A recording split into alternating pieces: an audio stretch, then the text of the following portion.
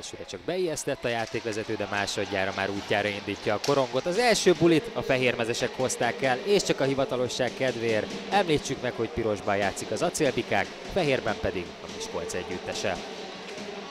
Lássuk a mérkőzés első hazai ember előnyét. Buli megvan az acélbikáknak, föl is tudnak állni azonnal 5 a 4-ben. Most a lövés, és egy hatalmas gól.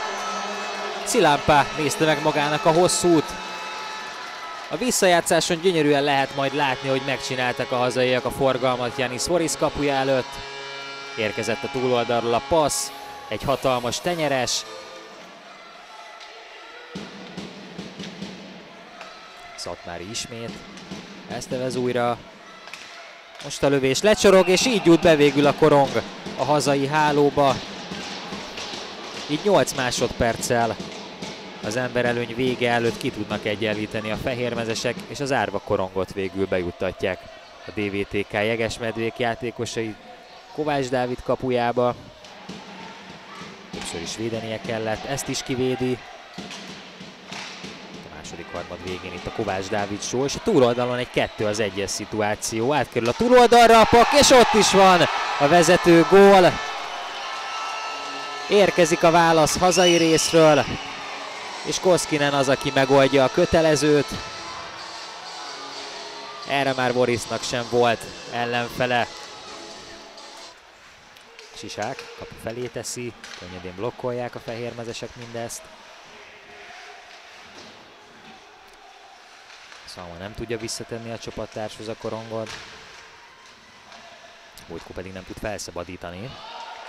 Ez egy újabb zicser a hazaiak előtt, és ezt is értékesíteni tudják a piros mezesek. Így az egy hátrány most már kettőre növekszik, és kezd elmenni a hajó Miskolci részről.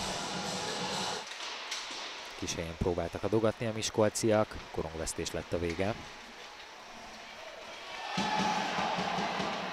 Zsiráv Díjas produkció, átkerül a koronga túloldalra, és Szalma Zsolti az, aki most már negyedik Dunóújvárosi találatnak örülhet.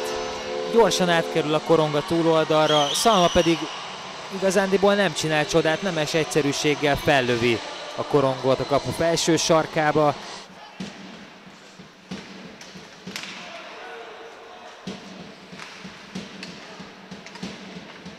Szvárs teszi rá a kapura, és egy hatalmas gólt akaszt a kék vonal magasságából.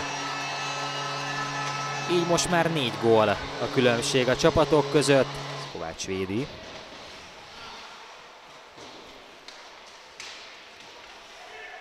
Van üres ember, meg is kapja Bín, és egy hatalmas gólt akaszt. Előtte Kovács kapus mamutja fölött a korongot, így módosul az eredmény, 5-2 az állás. 4-16-tal rendes játékidő vége előtt. Hatalmas skalpot gyűjt be az acélbikák alakulata, így az Újpest elleni győztes 6 0 mérkőzés után itt az 5-2 a DVTK ellen, és legközelebb a Donóiváros két nappal később a fel 19 ellen játszik, míg a Miskolciak szintén kettő nap múlva játszanak a Budapesti Jégkorong Akadémia ellen.